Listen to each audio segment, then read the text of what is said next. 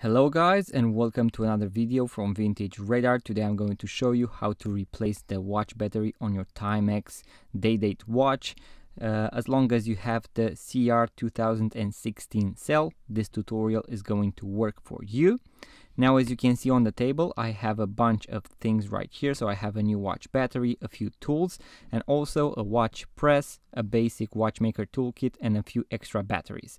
So if you are new to watches, I would definitely recommend going online and purchasing a watch press because on a lot of watches, you need that in order to press down the back, so the back case once again. On this one, it is going to work with your bare hands, but there are a lot of models that need an actual watch press, and you might find yourself without the possibility to actually close the watch.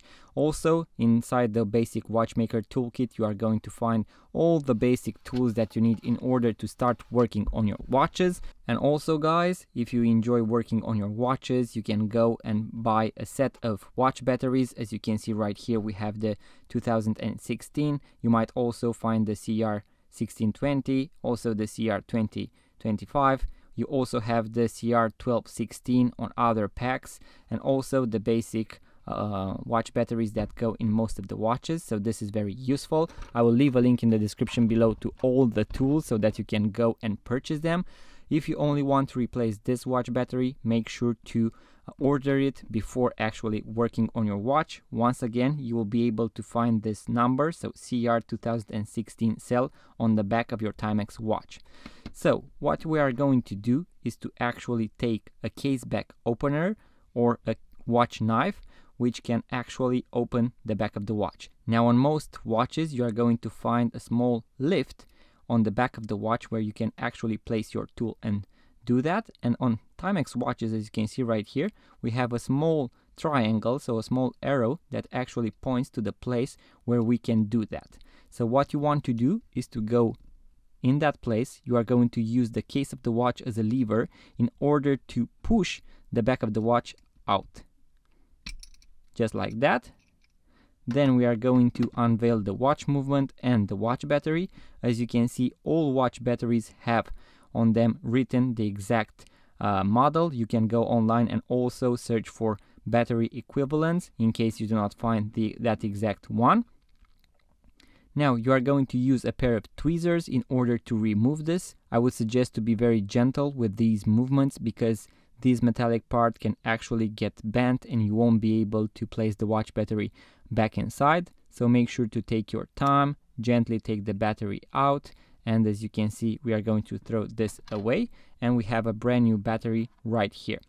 So here comes the tricky part because you do not want to break your movements. As I mentioned, as you can see right here, we have a small metallic part that actually holds the battery and also makes the connectivity with it. So do not apply too much pressure on this part of the movement as well because you do not want to break it. So what you are going to do is to position your watch like this, go with your battery at a small angle and here just push it and also press it down a little.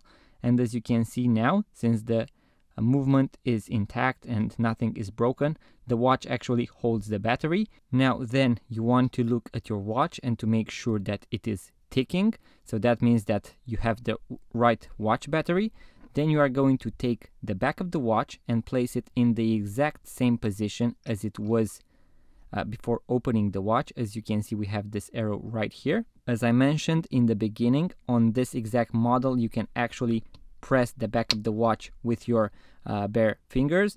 And that means that as you hear that click the back of the watch is in its place. And as you can see the watch is ticking. But once again there are a lot of backs that won't be able to uh, be pressured with your own uh, bare hands and you might see some people online that use certain pieces of wood and some towels in order not to break the glass i would definitely not recommend to do that because a lot of people actually break their watches so it is better to go the safe way so guys, that was the tutorial. If you enjoyed this type of videos, make sure to like the video, subscribe to our YouTube channel, watch our YouTube channel for other restoration videos, watch tutorials, and also check out our websites.